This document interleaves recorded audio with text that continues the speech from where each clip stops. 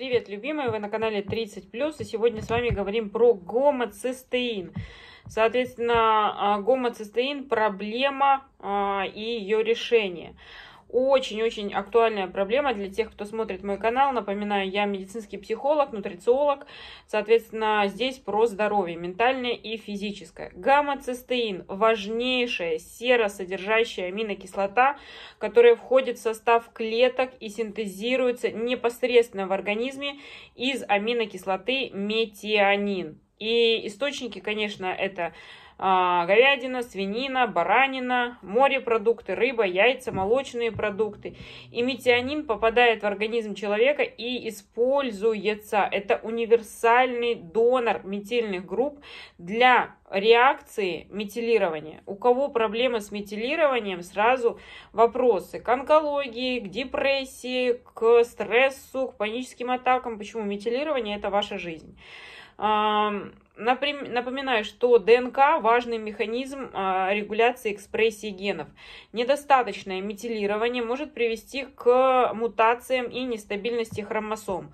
Например, вот что я знаю о себе. Я знаю о поломке фолиевой кислоты, я знаю о поломке группы В, там, витамине В12, о, о поломке витамина D.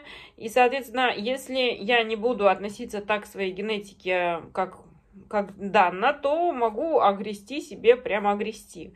Поэтому э, вот что хочется вам сказать, что если у вас, например, хронически повышен гомоцистеин и его превращение э, нарушено, известно, что обезвреживание происходит путем реметилирования и с участием витамина В9, В12, В6 и с участием бетаина. Это вещество, образующееся из холина, витамина В4. То есть здесь мы с вами говорим про что? Соответственно, при дефиците B9, B12, B6, холина и бетаина, да, кофакторов метилирования, гомоцистеин э, будет, э, история будет нарушаться, что приводит к токсичности, э, проблемам с сердцем э, и, соответственно, вообще проблемам сосудистым. Из какие причины? Первое – это избыток красного мяса в рационе, сидячий образ жизни, нарушение функции почек, а, поломка фалатного цикла, как у меня, например. И другой момент а, – мутация генетики. А, это все может достаточно нехорошо отражаться, потому что если есть уже какие-то холестериновые бляшки, то здесь могут быть э, история с тромбообразованием, стенокардией а, и сосудистыми нарушениями. Поэтому, если вы беременеете, или вы пожилой, или вообще, в принципе, вы заботитесь о своем здоровье, то мало кто знает, что болезнь Альцгеймера – это заболевание головного мозга, а, которое тоже а, происходит из-за неправильного метилирования.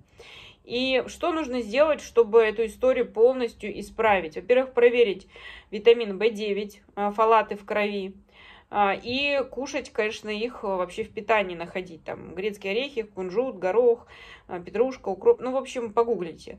В12 обязательно в крови проверить, потому что у некоторых проблемы с кишечником, плохо усваивается, мало э, этой истории. Витамин В6 в крови.